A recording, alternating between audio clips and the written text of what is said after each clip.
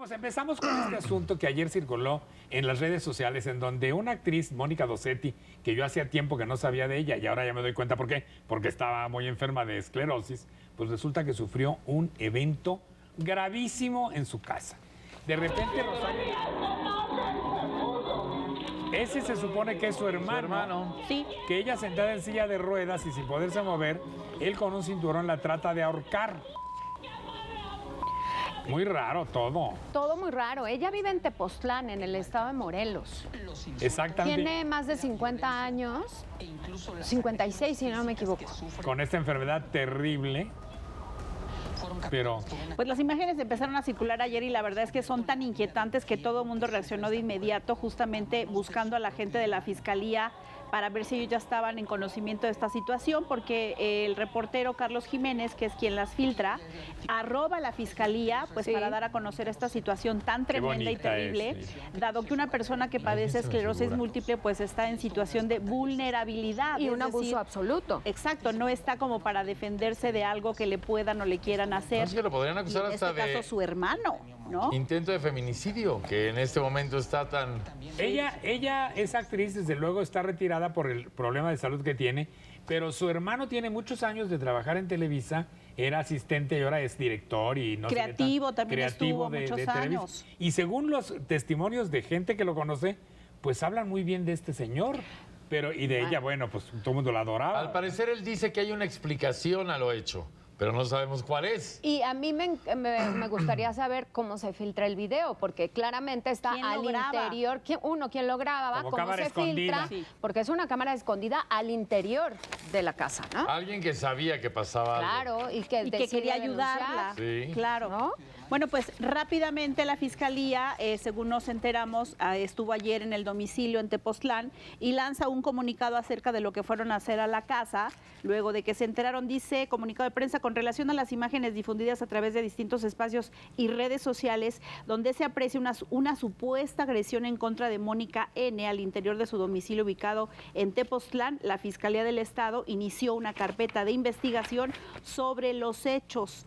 La noche de este lunes, El fiscal general Uriel Carmona Gándara condujo las investigaciones en un domicilio ubicado en la colonia Huilotepec, perteneciente al municipio de Tepoztlán, en donde se entrevistaron con familiares directos de la mujer afectada a fin de dar seguimiento a las imágenes difundidas en redes sociales sobre una supuesta agresión cometida en, con- en su contra por su hermano identificado como José N. Dice, y en el lugar se entrevistó a Mónica, a la madre y a una hermana, así como al hermano que se observa en el video difundido, quien otorgó las facilidades para el ingreso de las autoridades de la institución para realizar las entrevistas y de investigación correspondientes.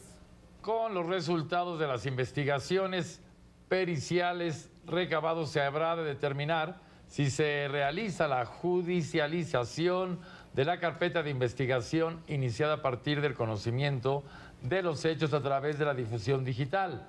En tanto, la Fiscalía General del Estado de Morelos continúa con la integración correspondiente. Y tenemos imágenes de el, el acceso que tuvo la Fiscalía de Morelos en la casa de, de estas personas, pues para... lo que encontraron, fotos. porque pues primeramente tendrían que saber en qué condiciones de vida está ella, si es un lugar digno, si es un lugar limpio, si ella está cuidada, como se dice, eh, y pues estas son algunas de las imágenes que ellos compartieron a la prensa ya.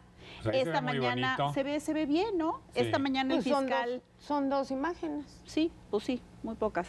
Eh, dio una conferencia de otro asunto y al final la prensa le preguntó sobre esta eh, situación tan inquietante y esto fue lo que dijo. Lo que circuló en redes, eh, tuve la oportunidad de, de conducir un equipo de la Fiscalía del Estado al domicilio de esta persona. Estuve personalmente verificando el estado de salud de Mónica, la persona que en apariencia en el video se ve atendida. En un rato más vamos a circular las imágenes. Platiqué con ella, estuve con la familia, estuve con su mamá y con una hermana y también con la persona que aparece en el video, donde está teniendo una especie de agresión. Entonces estamos haciendo la investigación que corresponde para aclarar qué es lo que está pasando ahí. Tomamos las medidas de seguridad para, para esta, esta mujer, esta, esta señora que aparece en el video. Y en las próximas horas pues el equipo de fiscalía va a determinar si procedemos con una judicialización en contra de este, de este señor o no. Es su hermano, lo que ya sabemos que es, su- hermano, tienen una relación muy cercana. Estuvo la mamá, estuvo una hermana, estuvo la familia. Eh, está viviendo en un lugar muy digno, es una casa limpia, tiene alimentación, tiene los cuidados correspondientes. Sin embargo, eso no implica que no hagamos la investigación a fondo respecto a esta, de esta supuesta agresión.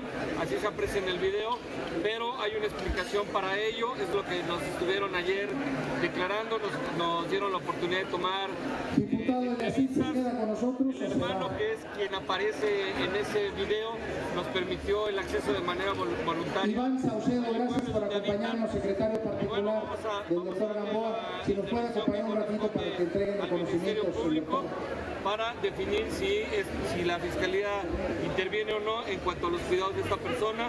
Ya se otorgaron medidas de protección. Bueno, pues eh, ya fueron, ya vieron que la casa es una casa normal, común y corriente, que viven ahí Mónica, creo que una hermana, el hermano y la mamá. Y la mamá. Pero lo que pasa exactamente. dentro no es común y corriente.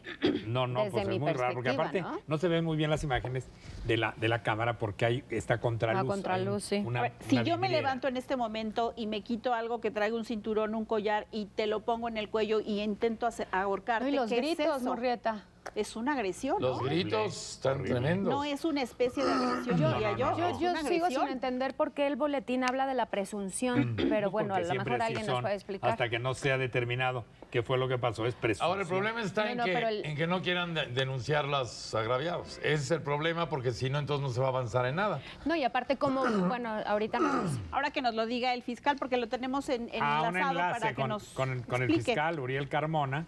¿Cómo le va, señor fiscal? Muy buenas tardes. Buenas tardes a todos. Gracias por el espacio, a sus órdenes. Gracias a usted, eh, señor fiscal. Bueno, pues queremos saber, porque en estas declaraciones que hacía usted hace un momento, hace un- unas horas en Morelos, se habla de una explicación que hay para estos hechos que vemos que resultan tan preocupantes. ¿Qué explicación dio el hermano de Mónica Dosetti para estas imágenes que estamos viendo? Bueno, primero que nada, nosotros iniciamos una investigación porque nos enteramos de este terrible hecho a través de redes sociales. Tuve yo la oportunidad de acudir personalmente a conducir la investigación Ujú. y me encontré pues con una familia unida, todos alrededor de, de Mónica. Eh, me manifestaron que la están atendiendo bien. Yo platiqué con ella, dice que está contenta y que está muy a gusto con, con su hermano José, que es la persona que en apariencia la maltrata en el video que ustedes conocen. Ujú. Y bueno, él lo que nos explicó es que tienen momentos difíciles como cualquier familia y que ese día no fue la, no fue la excepción. Esto nos refirió que el hecho donde el- que aparecen las imágenes ocurrió hace aproximadamente cuatro meses y a partir de entonces es que ella vive solamente con él. Él, él quien, es quien se encarga de sus cuidados. Y entonces la explicación que da es que tuvo alguna ingesta de algún, de algún medicamento que lo alteró, lo alteró en su conducta, en sus nervios. Sin embargo, nosotros pues vamos a llegar al fondo de este asunto, vamos a practicarle los análisis forenses de toxicología para deslindar responsabilidades y no vamos a permitir que haya un maltrato. Ya se establecieron medidas de seguridad y con el respeto al, al proceso y a la presunción de inocencia, pues lo vamos a citar, lo vamos a hacer comparecer a este señor José para saber exactamente qué está pasando y saber si es necesario llevar esto hasta un juez para ver si es necesario eh, proteger de otra manera a, a- a Mónica, ya sea en un albergue especializado, pero ya intervenimos, la familia estuvo presente y lo que ellos nos dijeron, lo que ellos nos declararon oficialmente es que la están cuidando y lo corroboramos, estuvo el equipo de fiscalía presentes en este domicilio en el municipio de Tepoztlán. Pero si, si no hay denuncia por parte de, de la agraviada o de la familia, ¿qué procede? Lo que sucedió, ya procedimos a la investigación. Nosotros tuvimos la noticia del hecho a través de redes sociales y legalmente eso nos permite hacer esta intervención.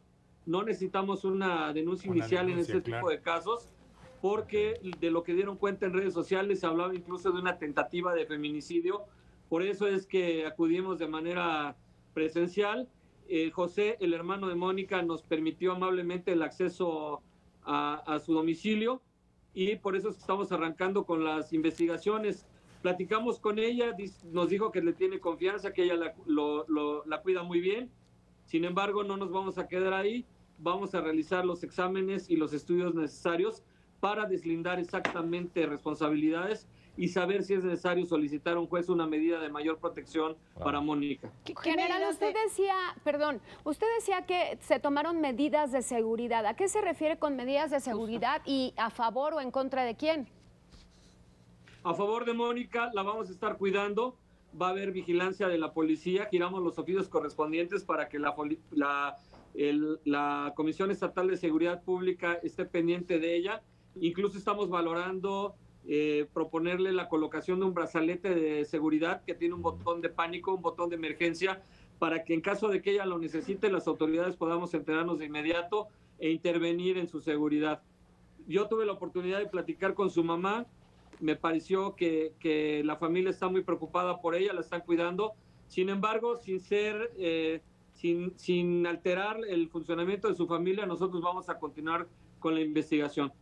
Eh, licenciado, en este caso, y si ya José, el hermano de Mónica, reconoció, Reconoció. que consumió alguna sustancia tóxica o no sé qué haya sido, ¿qué del- ¿de qué delito se trataría? Si él ya lo confesó, más allá de que la fiscalía Pero haga su aparte, ¿qué- trabajo. ¿qué, puede y- volver a suceder? Pues sí, puede y que volver la a vida está suceder. en peligro. ¿De qué delito se trata y cómo se previene esta, esta situación? Precisamente eso es lo que tenemos que investigar. La encontramos en un, en un estado de salud, no obstante que ella tiene un padecimiento delicado. Eh, no, no presentaba lesiones recientes, no se encontraba herida ni lesionada. Es un lugar bastante digno en el que ella habita. Encontramos las cosas en paz, había buena comunicación con la familia. Sin embargo, pues vamos a practicarle los exámenes de toxicología a José, que es el hermano de Mónica, para saber si la versión que él proporcionó al Ministerio Público es la correcta. Y no queremos ser invasivos, respetamos la, la intimidad de la familia, pero no podemos permitir que ella tenga un riesgo mayor Claro. más adelante. Ahora, Por ella, eso es que la ella- investigación tiene que llegar a fondo. sí, ella comentó si ya se ha repetido esta situación, porque dice que ocurrió hace cuatro meses. ¿En este lapso se habría repetido o no? Fuimos muy, muy claros y, e insistentes en saber si había ocurrido en este lapso un evento similar posterior y nos aseguró que no. Ella manifestó estar muy contenta con su hermano José, tener mucha, tenerle mucha confianza. Sin embargo, no nos vamos a quedar con esa versión de los hechos y vamos a investigar lo que corresponde. Eh, eh, licenciado, ¿durante cuánto tiempo se va a llevar a cabo esta investigación? Usted dice hasta las últimas consecuencias, sí, pero ¿qué, qué proceso judicial? Porque no hay judicialización, hay una carpeta de investigación solamente, no hay denuncia, entonces, ¿qué periodo de tiempo estamos hablando? Cuando menos las próximas dos semanas, a partir de anoche que estuvimos en su domicilio, se van a desahogar las pruebas que corresponden a la fiscalía y entonces vamos a valorar si tenemos una intervención de un juez en relación con, con la permanencia o no de Mónica en ese domicilio a cargo de su hermano. Vamos a estar en comunicación con la familia, los tenemos que escuchar y por supuesto también tenemos que oír la opinión de los médicos expertos en el padecimiento de Mónica y las consecuencias que puede haber o no de permanecer en ese domicilio. Ahora, ella mentalmente es una persona capaz, por lo que nos está usted comentando. ¿Qué decidiría ella? Porque ella también podría decir, pues Me no sé, me quedo, claro. me voy o no sé lo que decida, ¿no?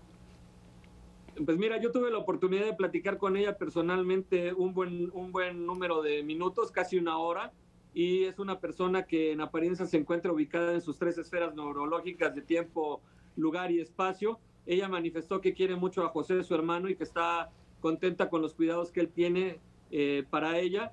Sin embargo, nuestra obligación es realmente investigar Claro. y deslindar si existe o no una responsabilidad mayor. Ya serán los médicos quienes determinen de manera científica cuál es el estado psicológico de Mónica y también de la familia. Nosotros fuimos muy respetuosos, pero sí vamos a, a solicitar su comparecencia ante el Ministerio Público en esta misma semana y estaremos terminando la próxima semana las investigaciones iniciales. Otra cosa Licenciado, que habría pero que saber- preguntarle una cosa rápidamente. Licenciado, eh, si fue hace cuatro meses este evento, una prueba toxicológica cuatro meses después, si no se ha seguido consumiendo el estupefaciente que haya provocado esto, no va a aparecer. Hay sustancias que sí es, es, eh, son posibles encontrar. dependiendo del tipo de exámenes que se practiquen, nosotros contamos con los recursos necesarios para ello. Entonces estamos confiados en que vamos a obtener un resultado objetivo y pues lo daremos a conocer en medida de lo legalmente posible. Otra cosa que habría que saber es por qué se tomó este video hace cuatro meses y luego quién filtró el video, quién lo subió a la red, porque por alguna razón se tomó el video. Exactamente enfocado hacia donde está sentada Mónica Pero y donde el bueno, hermano ¿no? está cometiendo esta tropelía. Nosotros vemos que la existencia del video pues finalmente es algo positivo porque permitió a las autoridades conocer de este hecho e intervenir cuidando el debido proceso y respetando los derechos de las personas. Sin embargo, va a ser parte de la investigación si es que hay algún delito que tenga que ver con la invasión a la privacidad. Eso es algo que también vamos a, a- a tomar en cuenta Claro. en esta investigación. Debe ser. Licenciado, en su experiencia, ¿pudiera pensarse que Mónica esté siendo presionada para hablar bien de su hermano? Eso es lo que yo le pregunté, se lo pregunté muy claramente, le, pregunté si ella tenía eh, alguna amenaza por parte de él o de alguna otra persona. Me dijo que no, sin embargo vamos a valorarla a través de los exámenes de psicología. Aquí en la Fiscalía tenemos esos servicios y, y como les explico, eso es algo que tenemos que, que hacerlo, es nuestra obligación investigar porque tenemos que priorizar la seguridad de Mónica y respetando, teniendo un equilibrio con el respeto a la intimidad de la familia. ¿Hay una sanción en caso de que exista eh, maltrato hacia Mónica y que los demás integrantes de la familia, más allá del hermano, guarden silencio o eh, guarden secrecía sobre lo que ocurre en esa casa? Sí, puede darse un delito de encubrimiento por, por favorecimiento. Eso es lo que vamos a, vamos a, a revisar. Se tomaron entrevistas a los miembros de la familia que estuvieron presentes y será el Ministerio Público quien determine si es necesario ejercitar acción penal ante un juez. Ahorita lo que ya tenemos seguro es que eh, tenemos intervención y la estamos protegiendo. Muy bien. Pues muchas gracias, señor fiscal Uriel Carmona, porque fue muy claro usted en esta explicación que nos acaba de dar y pues seguiremos dándole seguimiento a esta, seguiremos con el seguimiento. así La idea es esa, la idea es esa. esa, licenciado. La idea es feliz día del muy bien. abogado, que hoy es día, Ah, sí, hoy es abogado. el día de los abogados. para ti y para todos. Ah, muchas gracias, gracias al, al programa. Soy fan de ustedes. Ah, gracias, gracias. licenciado. Gracias, licenciado. Saludos. Hasta luego. Mientras Hasta tanto, luego. Laura Zapata, público querido. Oye, perdón, nada más decir felicidades a todos los abogados en su Sí. día. Ah, sí. Tenemos varios que han colaborado Varios. con este programa, muy buenos. No, y los queremos a varios, a los Richter, por ejemplo, un abrazo con todo cariño. Al abogado Al Pous. Al abogado Pous, Alfonso Arnaez. a, este, A, la- los, licenciado- a- a los de Yari González que han sido Ah, tan eficaces. al abogado Castañeda. Castañeda. Sí. Tames y Castañeda. Así Ah, que pues muchas bueno. felicidades a todos los abogados que nos. Nos explican, nos sacan de dudas, nos ponen de nervios y todo a su vez. ¿Verdad? Ah, Al licenciado Ay, Borrego. Borrego, supuesto. sí, licenciado. Borrego, saludos. Aquí en Azteca, los Richter, como bien le dije a eh, Bueno, Claudia y a la y Ulrich. licenciada penalista Mónica quisiese, que ella a- ya es más que licenciada, No, Es doctora en máster, Derecho. eso, es máster. Oye, ¿qué es esto de Laura Zapata, de Laura- Rosario? Pues es que hablamos con Laura para saber por qué ella eh, de inmediato, como buena activista que es en muchos casos, se Sí. puso en contacto con C4 Jiménez, que es Carlos Jiménez, el reportero que filtró las imágenes, habló con él para estar Hermano al de Juanma pendiente. Que Jiménez. no de es aquí. hermano. Sí. Yo el otro día le pregunté y me dijo Ah, que bueno. no. Bueno, que sí. hermano o no. Eh, Laura es la primera que nos dice, fíjense, que no quieren denunciar. No Pues quieren, es que es muy difícil situación. No, no es. Bueno, pero es que está en riesgo tu vida. Pues y sí. la- si ni ella ni su mamá quieren denunciarlo, pues entonces seguirán viviendo su infierno. En varias ocasiones muchas fiscalías no han metido la mano y acaban muertas las víctimas que denunciaron. Pero bueno, pues aquí ya el ojo está echado, ya se hizo público y pues ahora sí que hay que esperar a ver qué es lo que quiere ella y qué es lo que quiere su mamá. La mamá debe estar en una disyuntiva, pero yo como mamá, pues sí denunciaba al poderoso, al, fuer- al fuerte y al agresor. Que el fiscal de Morelos acudió anoche a la casa de la actriz agredida, así por su hermano, y aunque ella no quiso denunciarlo, la fiscalía ya realiza peritajes y análisis psicológicos para determinar si procede contra José Dossetti. Entonces esto me parece muy interesante. Mientras he estado hablando contigo, eh, yo le pregunté a Carlos Jiménez que si que si ante esto de que ellos no denuncian, que si se puede que no se puede hacer nada y que si el video lo coló ella y me dice Carlos Jiménez que sí se puede porque por sus condiciones es vulnerable a presiones psicológicas. Entonces puede ser que la estén manipulando, amenazando o presionando para que no denuncie. Pues tendremos que Justo seguir en decíamos, esta investigación Posiblemente porque realmente pues, no se sabe qué es lo que pasó. Pero Lo bueno es que la fiscalía ya metió Sí, manos en el asunto y, y, bueno, y pues me parece trabajando. bien interesante mucho de lo que nos decía, oye, este brazalete de seguridad con botón de auxilio me Está parece algo extraordinario que Pues sí. exista para este caso y muchos otros que Hay se aquí que nos lo necesitan. pongan, oye. No, para. Para pedir auxilio de repente. Este programa de televisión se llama Ventaneando y que el que no cae resbala. Ventaneando, ventaneando.